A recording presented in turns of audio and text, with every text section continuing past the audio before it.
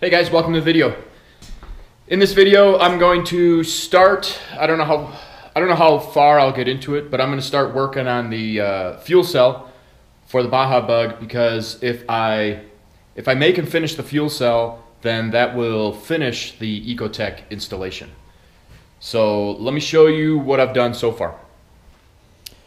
First thing I did was went to the scrapyard and grabbed some scraps of aluminum. At the scrapyard by me, aluminum is $2 a pound. And they've just got a rack with all sorts of different sized pieces. And so I'll just go through and grab some different thicknesses and, you know, grab whatever I think I can work with. So basically I've got uh, this piece, which is about an eighth inch thick, which is kind of a little bit thicker than I normally make for uh, fuel cells, but this one's going to be in the cab with me, so I'm really going to make this one pretty robust. And then over here, I've got another piece that is uh, a little bit less. I think it's uh, 0.190 inches thick. And this one I'm going to use because I need to make some mounting flanges and whatnot on the top for the fuel pumps because I am going to make it with two fuel pumps like this. This is the uh, the factory fuel pump. It's going to have two of these mounted in there. And so it's going to need, I'm going to need to make some sort of a ring that these will set into. And then there will be some some plates kind of like this that sandwich the fuel pump and they'll they'll screw down into the cell. And then they'll have to sandwich this gasket in there to, to seal it off. So the first thing I did is I went in um, and I took measurements for the fuel cell that I think I can fit in here. It's going to be about 10 gallons, which is a little, I'd like it to be a little bit more, but I'm trying to draw it up so that it will clear my electrical box, which is down here. and then right in front of the electrical box is my uh, shifter coupler. I don't want to cover that because I always want to be able to access that on the trail in case it comes loose or anything like that. So I've drawn up a fuel cell that will mount low right kind of behind the seats and it'll go right up to the shifter, but it won't cover it. My plan then is to make a fuel cell and then I'll fabricate a little kind of like a cradle that it'll sit in and it'll have straps that hold it. So I'm going to take you along as I start fabricating it and kind of show you what I do and what's involved.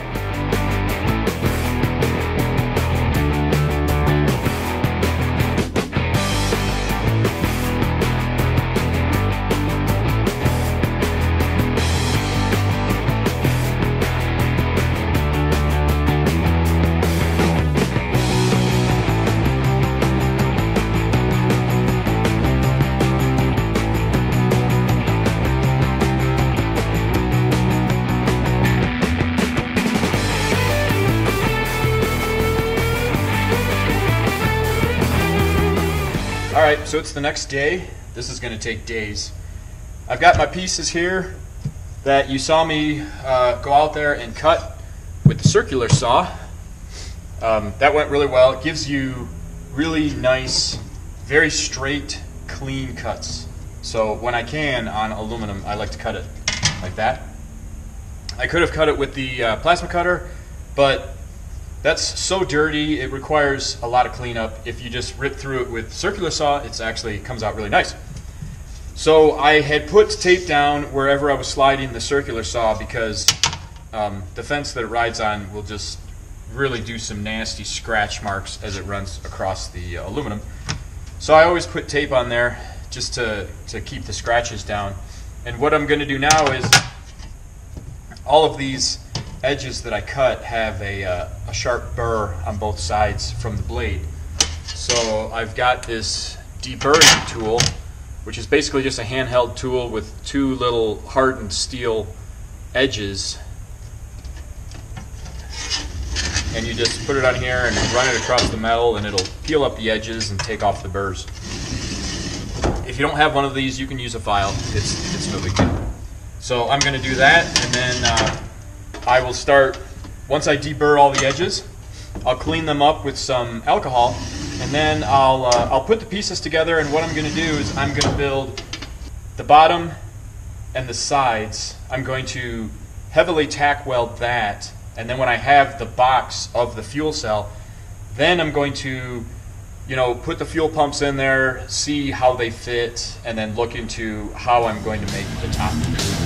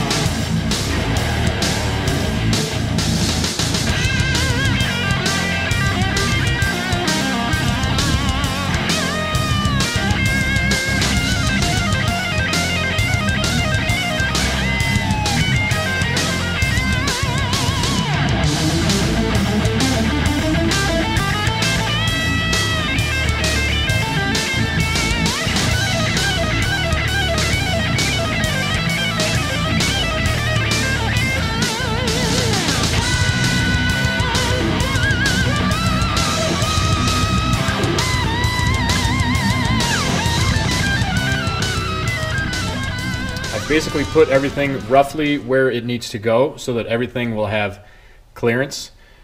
And then I took this piece, I cut, just like I cut the pieces for the fuel cell, I this is um, almost quarter inch, but not quite aluminum.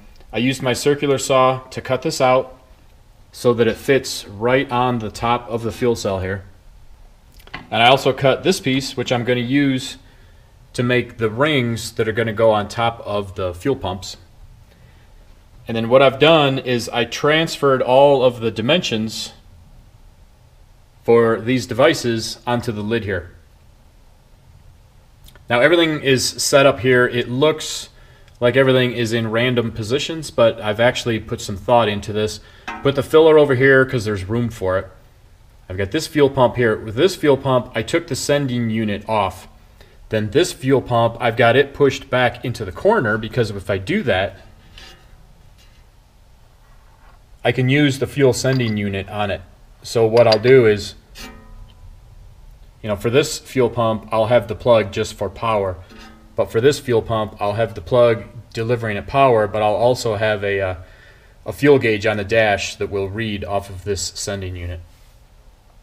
So I've got all these points transferred onto here. What I'm going to do is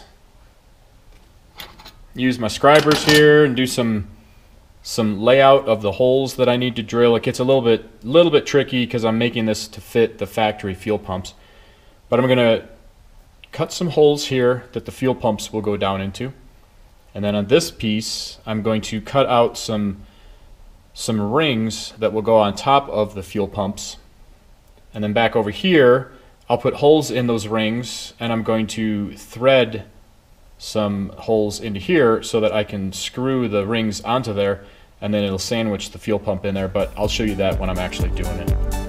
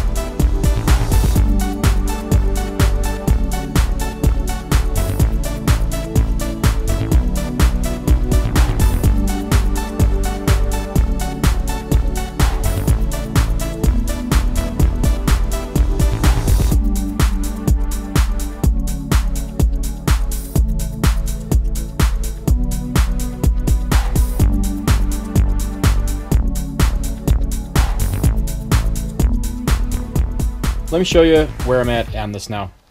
this is the top piece for the fuel cell. And I've been cutting out the holes for the, this is fuel pump number one, fuel pump number two. This is going to be for the, the fuel filler. So what I've been doing is I cut the big, the larger holes. And if you can see here, I've drilled some holes and threaded some holes in uh, each of the two openings for the fuel pumps. And I also drilled some holes and threaded some holes for the fuel filler. And then to go along with the two holes for the fuel pumps, each fuel pump has a ring with matching holes. Um, and what these are going to do is these will, when the fuel pump goes in here, these will sandwich them on the top. So what the intention is, I'm going to put screws up from underneath for the fuel filler and for the, the fuel pumps. They'll stick up from underneath. They're just going to be machine screws. Um, for the final installation, I'm not going to do this right now because I still have to weld this to the fuel cell, but I'm going to do a, a prefab installation right now just to make sure that everything fits. When I do do the final installation, these will have thread locker on them, which will seal them so that fuel won't come through the threads. So what I'm going to do is I'm going to put the bolts through both of the fuel pump openings, the fuel filler opening, and then I'm going to install the fuel pumps, put the rings on, secure that down. I'm going to do the same thing with the fuel filler. And what I have going over here is I've got three quarter inch pipe thread uh, holes drilled and tapped into the top here. One of them is going to be for a barbed fitting for my uh, fuel cell vent. The other two are just going to be plugs the purpose of those is this fuel cell is pretty small. It's a little bit less than 10 gallons.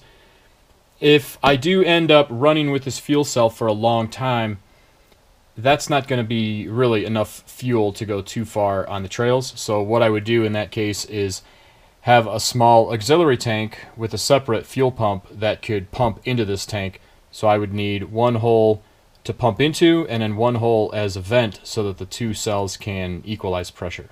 So that's what those two are for. They're just going to be plugs for now.